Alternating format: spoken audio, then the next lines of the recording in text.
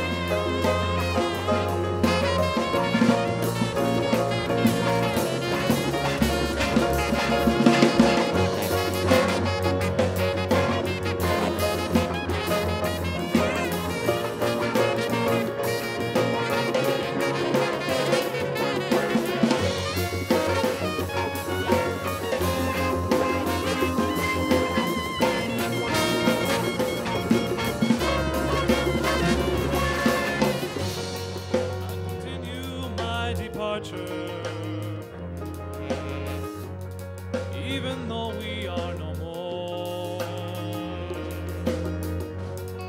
Your methods are familiar, using.